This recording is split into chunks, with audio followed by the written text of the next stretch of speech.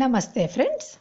మనము సివి రచనలు అని చిత్తజల్లు వరహాలరావు గారు రాసిన కౌటిల్యుని అర్థశాస్త్రం పుట్టు పూర్వోత్తరాలు అని ప్రజాశక్తి బుక్ హౌస్ వారు పబ్లిష్ చేసిన పుస్తకం చదువుతున్నాము కదా.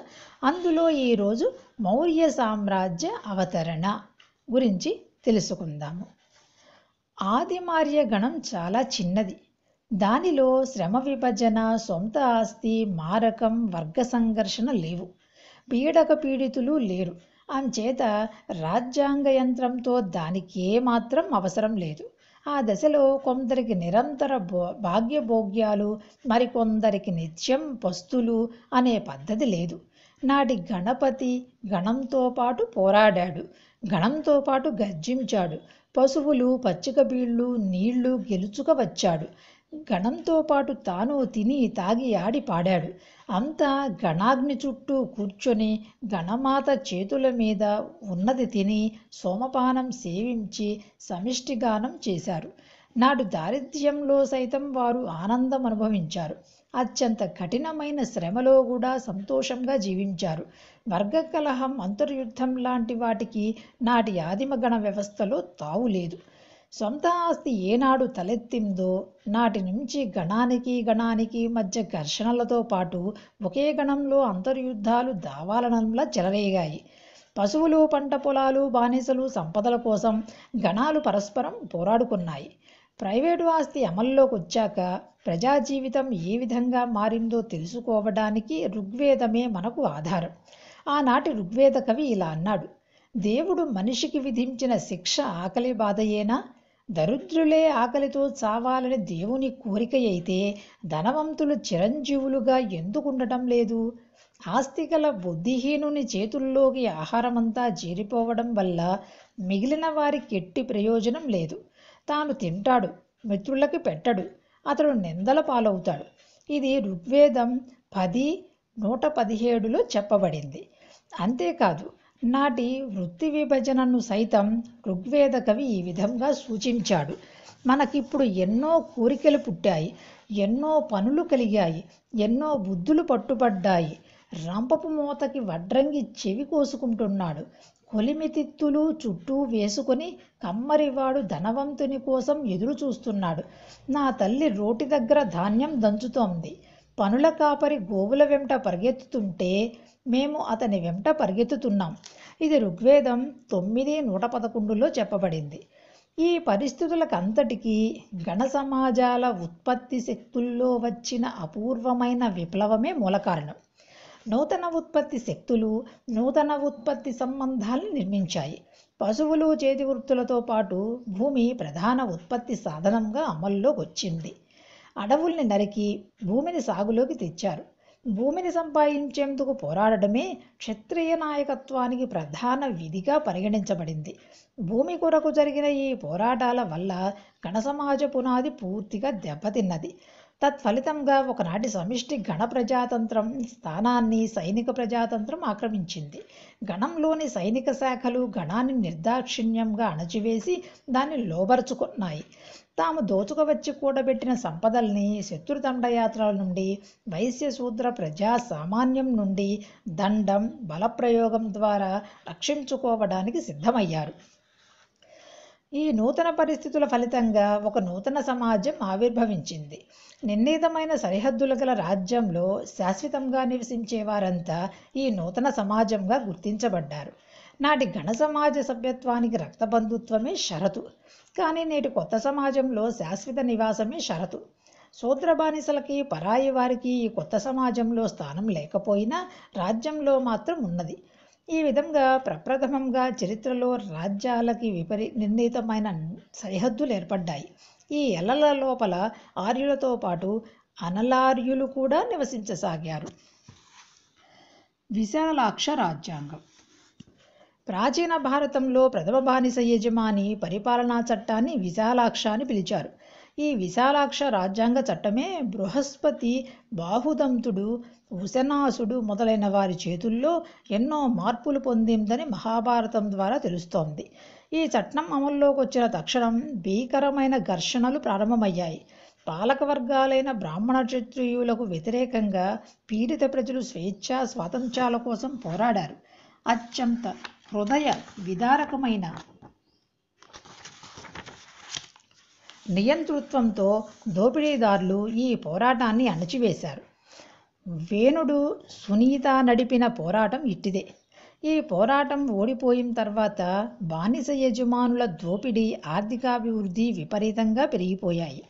సూత్ర బానిసల సాయంతో భూములు సాగులోకి తీసుకురాబడ్డాయి. ఒక వర్గం మరో వర్గాన్ని దౌర్జన్యంగా దోచుకునే విధానంపై ఆధారపడ్డ రాచరిక ప్రభుత్వ యంత్రం పరస్పర సహకారంపై ఆధారపడ్డ ఆదిమగణ సమాజాన్ని నాశనం చేసింది. అంచేత పరస్పర వైరుధ్యాల ఫలితంగా రాజ్యాంగ యంత్రం ఏర్పడింది. బ్రాహ్మణ క్షత్రియ పాలకవర్గాలు తమ ఆజ్ఞలకి భవ భగవదాజ్ఞలని పేరు పెట్టి ఓడిపోయిన ప్రజల నెత్తిన రుద్దారు. నాటి నుండి సమస్త జీవనయాత్ర వెనుక ప్రభుత్వ దౌర్జన్యమే దండభయమే కీలకంగా తయారైంది. వర్గదోపిడీని సామాన్య ప్రజలు భరించి సహించేట్లు రాజశక్తులై ప్రవర్తించేట్లు పాలకవర్గాల పట్ల గౌరవ ప్రపత్తులు ప్రదర్శించేట్లు చేయాలంటే రాజ్యాంగ యంత్రము సైన్యము అవసరమయ్యాయి. ఇవి చాలకపోతే వదదండ మరణదండన చివరి శిక్ష. ఈ నూతన రాజ్యాంగ యంత్రం ఆవిర్భవించిన తర్వాత హిందూ పురోహిత వర్గ రచయితలు దీన్ని పొగడలేక చచ్చారు. దండం దౌర్జన్యం బలప్రయోగం లేకపోతే అరాజకం విజృంభిస్తుందని ఆస్తి కుటుంబము మతము చివరికి సమస్త ప్రపంచము నశించిపోతుందని రాశారు. ఆస్తి పేరిట కుటుంబం పేరిట ధర్మం పేరిట దైవం పేరిట కులమతాల పేరిట పాలకవర్గాలు సూత్రబానిసల ఆస్తిని కుటుంబాన్ని స్వతంత్రాన్ని అణగదొక్కారు. క్రమేణా వేదమంత్రాలు మత సంబంధమైన కర్మకాండగా పరిణమించాయి. ఈ దశలో యజ్ఞం పురోహిత వర్గాల భుక్తికి ప్రధాన సాధనంగా తయారైంది. యజ్ఞం అనే బూటకపు కర్మకాండ ద్వారా పురోహిత వర్గాలు తమ దోపిడీని యథేచ్ఛగా కొనసాగించారు. యజ్ఞాలు దానాల పేరుతో బ్రాహ్మణ క్షత్రియ పాలకులు సామాన్య ప్రజల పశువుల్ని సంపదల్ని దొంగిలించారు. వైశ్యశూద్రులు దున్ని సాగులోకి తెచ్చిన విశాల భూభాగాల్ని దురాక్రమించారు. మహాభారత యుద్ధం. బానిస విధాన పునాదులపై హస్తినాపుర కౌరవ సామ్రాజ్యము పాటలీపుత్రంలోని మగధ సామ్రాజ్యము పెరిగి పెద్దవయ్యాయి.